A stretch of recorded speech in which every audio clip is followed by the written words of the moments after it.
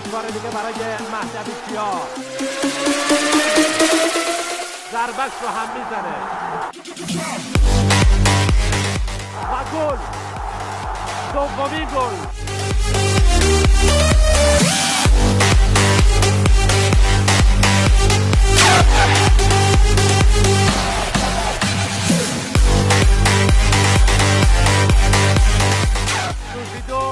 استقلال صفر.